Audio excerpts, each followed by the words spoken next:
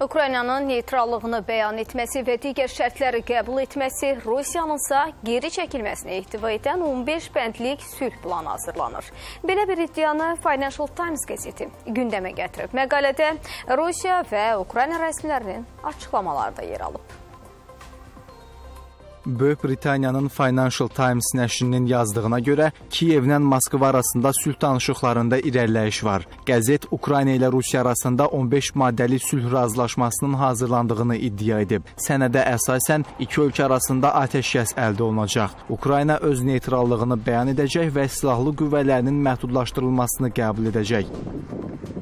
Daha sonra Rusiya Ukraynadan geri çəkiləcək. Həmçinin Ukrayna NATO-ya üzv olmaqdan imtina edəcək. Xarici ölkələrin hərbi bazalarına, eləcə də silahlarına ev sahibliyi etməyəcəyinə zəmanət verəcək. Bunun müqabilində Ukrayna Amerika Birləşmiş Ştatları, Böyük Britaniya və Türkiyə kimi müttəfiqlərindən müdafiə ilə bağlı təminat almaq hüququ əldə edəcək.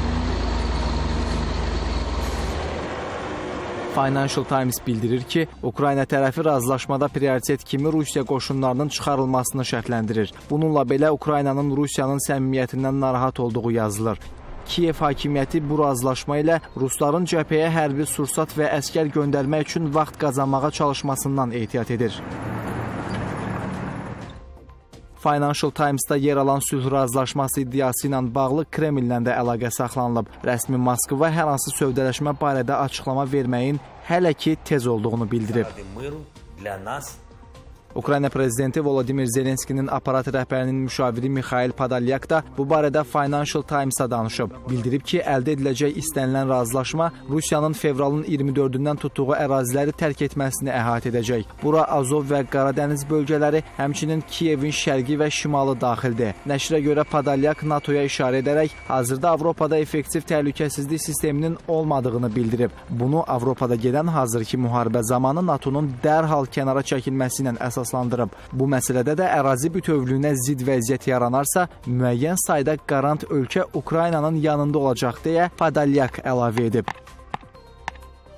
Böyük Britaniya qəzetinin yazdığına görə sözgedən 15 maddəlik razılaşma planı ilk dəfə danışıqların 4-cü raundunda müzakirə edilib. Xatırladaq ki, Mixail Podolyak 4-cü raund baş tutmazdan əvvəl Moskva ilə Kiyevin danışıqlarda kompromisə yaxınlaşdığını qeyd etmişdi. Bu barədə Kommersant qəzetinin açıqlamasında tərəflərin hələlik təfərrüatları açıqlanmayan razılaşmalar üzərində işlədiyini bildirmişdi. Stat: Biz bütün məsələləri müzakirə etdik.